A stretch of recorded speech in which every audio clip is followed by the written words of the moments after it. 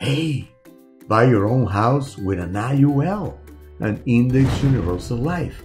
Let's say that you have uh, $60,000 to give the down payment of your house. Do not give them to the bank. Instead, open up an IUL, Index Universal Life Policy. You will have a permanent life insurance, and in the column of the accumulation, you will be earning between 7 to 9% of interest, and sometimes more than that. Right after, get a loan of your own money, let's say $45,000, and from there, you give the down payment for your new home.